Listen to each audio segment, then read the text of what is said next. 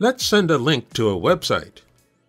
Follow along with these quick steps. Welcome back to Burn to Learn.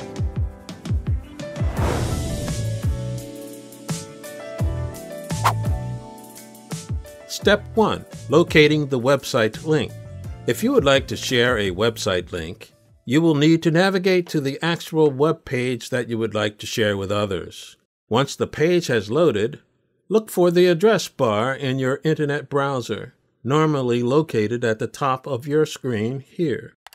For a Windows computer, you can simply press Ctrl plus L to be taken to the address bar, or Command plus L on a Mac computer. Step 2. Copy the link.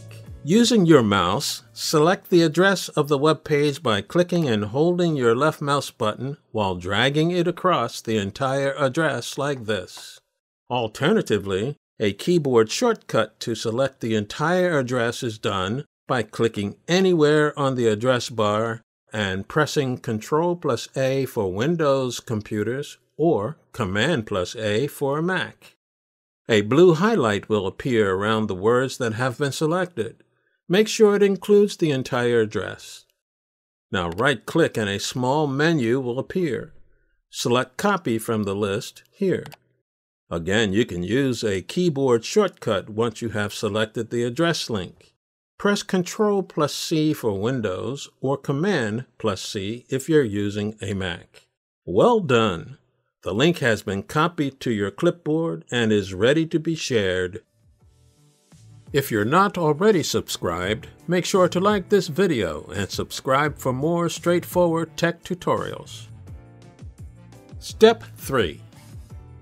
Sending the link. Now you can open your email, messaging application, or the program which you would like to use to send the link. To demonstrate, we are going to use Facebook Messenger. Once you have opened the chat of your chosen contact, Right-click anywhere inside the area where you write your message.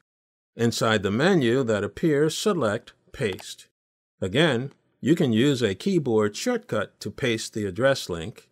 Press Ctrl plus V for Windows or Command plus V if you're using a Mac.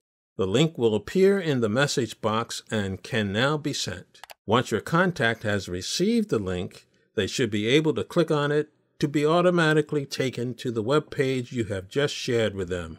For other easy to follow video tutorials, make sure to like and subscribe to our channel and show your support by getting your stylish Burn to Learn t-shirt in the description below.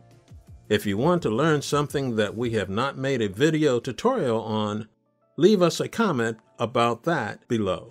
This has been Rod from Burn to Learn. Thanks for watching.